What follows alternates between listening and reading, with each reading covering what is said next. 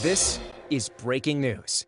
Happening right now, Governor Hochul is delivering remarks at the Stonewall National Monument Visitor Center groundbreaking. Let's go to it now. In fact, 53 years in coming, that there finally is the appropriate recognition for what went on here many, many, many decades ago.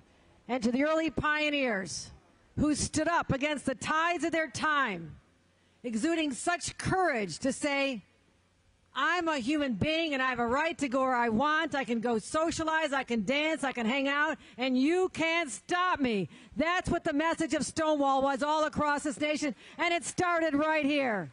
It started right here. And we're so proud of that history, and we cherish that history, and we honor that history. And today, we begin the groundbreaking for something that's going to be there for generations to come.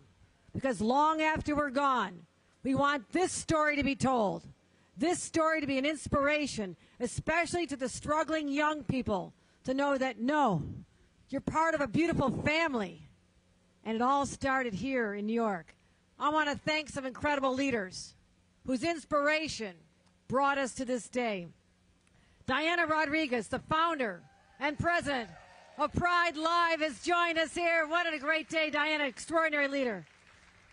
Anne Marie Gothard, the president of Pride Live Board of Directors. Anne Marie. Ruth Porat, the senior vice president of Google and Alphabet. What a great corporate partner as well. I believe our, our majority leader, the majority leader of the entire United States Senate, Chuck Schumer, is also here today. Thank him for his incredible leadership. Councilmember Eric Bottcher is here. Eric, where are you? Let's give a round of applause to our council member and everyone who worked so hard to make this a reality. But I have to also say, I said this is a great day of celebration, but there's also some very difficult news that just came down in the last hour.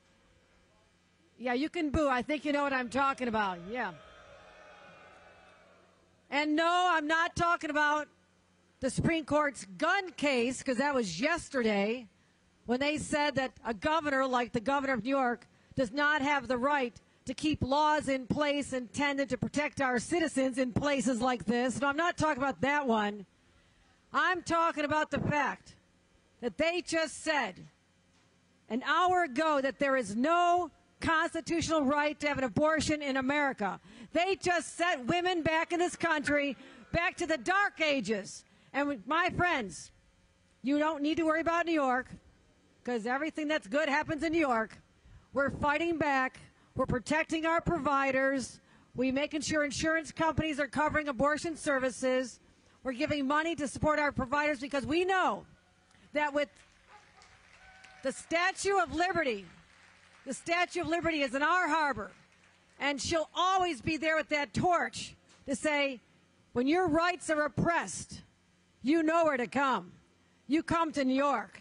So our providers will take care of you and treat you with the rights that we believe you have here in the state of New York. So we go forth, discouraged by the Supreme Court, anxious about what they may do to other rights that we hold dear, such as marriage equality. We'll continue to protect that right here in the state of New York. And remember Edie Windsor and others who stood up, who stood up for us. We'll always stand up. We don't just stand up, though, because this is New York we stand up and we fight back, don't we? We stand up and we fight back. And we're going to continue to do that. So today, we honor the legacy of this place, the story, the resiliency, the tremendous pride associated with this movement and our gatherings here, but also know that as New Yorkers, we have a moral responsibility to take the torch that's been passed to us, whether it's protecting our rights for safety against gun violence, our rights to determine our own outcome and our, make our own decisions for women's bodies, and also the right to love and identify any way you damn well please, because this is New York. We'll cherish your rights, we'll honor them, and we'll send a message to the rest of the nation. If your state does not respect you, does not treat you with the rights that we think you have here in New York, then what are you doing in those other states? Come to New York. This is our, thank you everybody. Great celebration and congratulations. Please welcome Senator Chuck Schumer.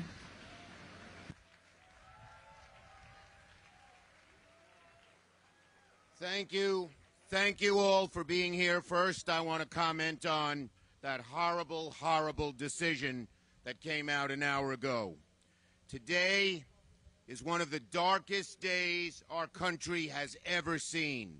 Millions upon millions upon millions of American women are having their rights ripped away from them by five unelected justices on the extremist MAGA Supreme Court.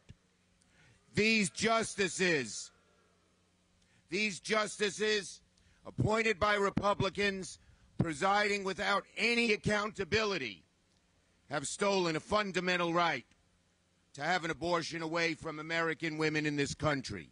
These justices were intentionally appointed by Republicans to overturn Roe v. Wade, and every Republican senator knew this would happen if they voted to confirm these radical justices. The MAGA Republicans are complicit in today's decision and its consequences for women and families in this country. Today's decision makes crystal clear the contrast as we approach the November elections. Elect more MAGA Republicans.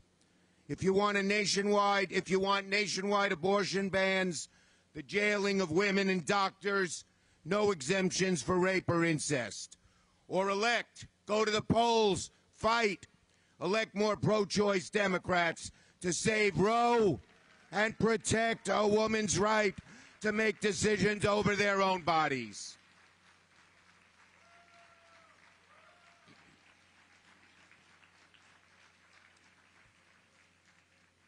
Now, to the wonderful, the issue at hand today, and this great, great dedication. Now, first, I want to thank everybody who make, helped make this groundbreaking possible, starting with generations of activists, advocates, and agitators, dating all the way back to that fateful night in 1969, to those people who never backed down. I want to thank Anne Marie Gothard and all of Pride Live for their work overseeing this project and making it a reality. And I want to recognize my colleagues in government who helped make it possible with their hard work and support. I introduced legislation years ago that is now law to make Stonewall National Monument a reality. I want to thank both Senator Gillibrand and Congressman Nadler for working with me on that legislation.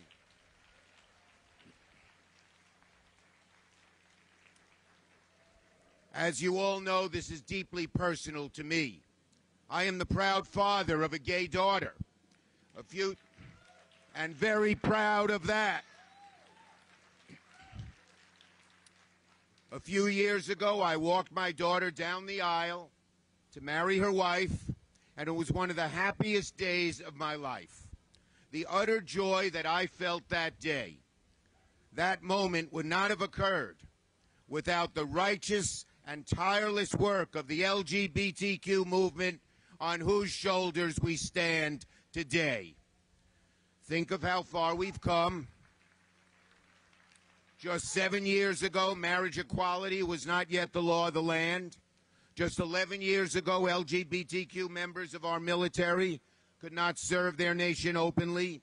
And 22 years ago, I was the only and first politician, senator, to walk in the gay pride parade, and now it's the hottest party of the year. So, this is a day to take stock of the amazing progress we've made as a nation. This is the day to make st- take stock of the progress we've made in LGBTQ rights as a nation. But, my friends, at the same time, we cannot ignore the storm clouds that are gathering on the horizon. We need the same activism that the early Stonewall pioneers exhibited to energize the movement to preserve hard won rights that a MAGA Supreme Court may try to take away. Are you with me as we fight to make sure we keep our rights? Across the country, we are seeing so many politicians on the hard right, from the MAGA Republicans, unleash hateful and bigoted rhetoric against LGBTQ Americans as they attempt to roll back the great progress we have made. The transgender community is especially facing vicious abuse, ugly attacks that I had hoped we had long since retired to the dustbins of history. So let me say this in the strongest possible terms. I stand with the transgender community. I stand with the LGBTQ community. I stand with every kid who is afraid of their future. We stand with you. We are with you.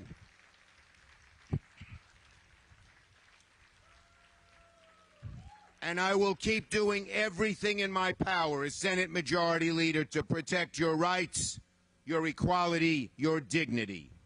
Now, hopefully, hopefully, not long from now, we'll look back and think it was absurd and backward that the transgender community ever experienced such discrimination in our country. I hope that day will come. I pray that day will come. I believe that day will come, but it will not come on its own. It took millions and millions of Americans hundreds of years to build this awesome country of fair laws and opportunity. Americans who fought, protested, agitated, and inspired our country to move closer, closer to its highest ideals. From the abolitionists and conductors of the Underground Railroad, to the women who gathered at Seneca Falls, to the organizers of the early labor movement, to the peaceful marchers who crossed the bridge in Selma, and to the brave gay and transgender New Yorkers who came together five decades ago at this place called Stonewall to teach our nation the power of resistance. At this moment of profound anxiety about the direction of our country, I want to remind everyone here of an unassailable truth.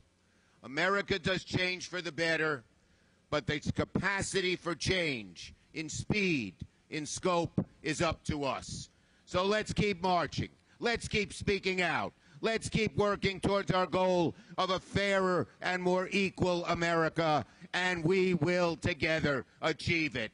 God bless those Stonewall pioneers. God bless you. We will win. We will win.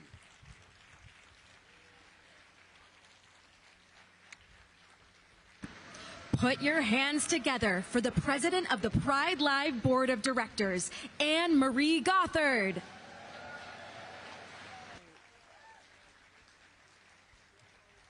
Hello to every oops. Hello hello to everyone that's here with us this morning and those of you who are joining us on the live stream. On behalf of Pride Live, welcome to the groundbreaking ceremony for the Stonewall National Monument Visitor Center. We have a wonderful lineup of speakers representing the LGBTQ plus community and our allies, such as you just heard from Governor Hochul and Senator Schumer, who stand with us as we celebrate this historic occasion. This is the first LGBTQ plus visitor center in the U.S. National Park System. We also have some video messages from friends of Pride Live who wanted to be part of this very important day.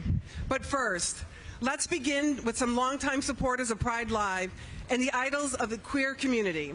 Here to sing the Star Spangled Banner are the legendary Alyson Palmer, Elizabeth Ziff, and Amy Ziff, also known as Betty.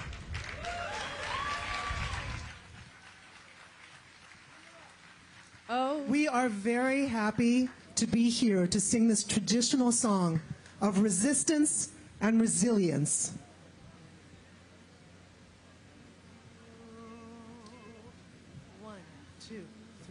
Oh, say, can you see by the dawn's early light what so proudly we hailed at the twilight's last gleaming, whose broad stripes and bright stars through the perilous fight, o'er the ramparts we watched were so gallantly streaming, and the rockets' red